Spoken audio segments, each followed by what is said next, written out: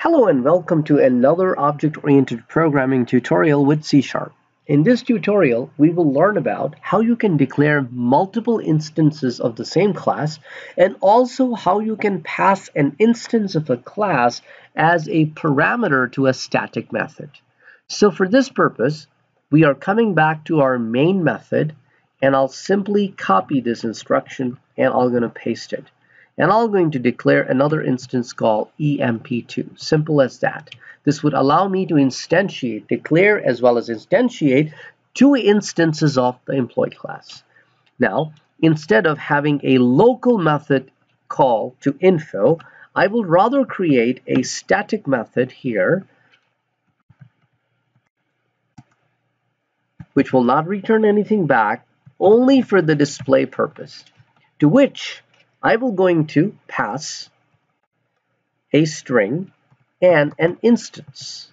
So that's why I will going to declare a string message and an employee EMP. So every time I make a call to display, I will pass a string parameter and I will pass an instance of employee type, which will then be passed into the EMP instance of the employee type.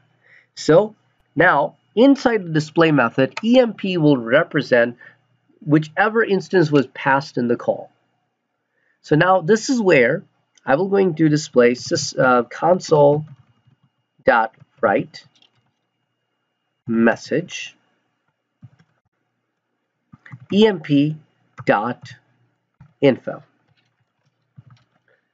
So if I make a call to display and I pass a message, first instance of employee type, followed by EMP1.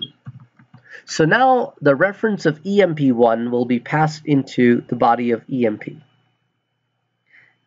Next, if I copy this and paste it, I'll say instead of first, second instance of employee type, and I'm going to call this EMP2. So now in this call, EMP will behave uh, on behalf of EMP2.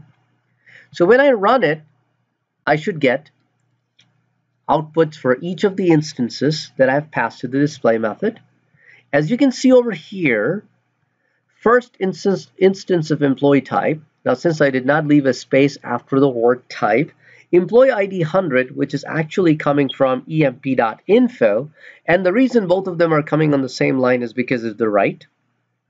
And in the second case, I see second instance of employee type, and I see 100 again, because we have not changed the value of the instance attribute employee ID or ID number in for either of the two instances that's why it's giving you the same value for output.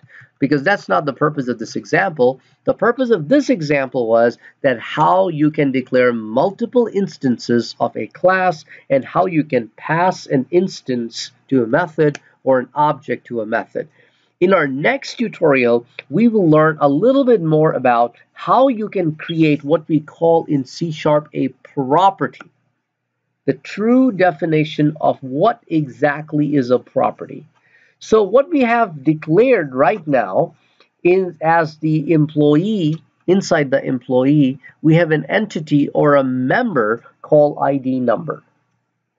This member will then going to be uh, given to a property to handle handle how it could be set or how it could be get so that if you want to change the value of this member or if you want to retrieve the value of this member then you will going to work with a property. So this is something different between C Sharp and Java. So Java developers need a little learning curve here because Java developers are so used to of declaring a member and then they considered it to be a property and then they write the getters and setters as separate methods which work on that member. But here you have a member property, two different things. Property basically deals with uh, setting or getting the member values. So anyway, there are some differences as all languages have. So here we have to learn about what exactly is a property and how do you set or get a value in a property. You can also do the same job with the help of setters and getters.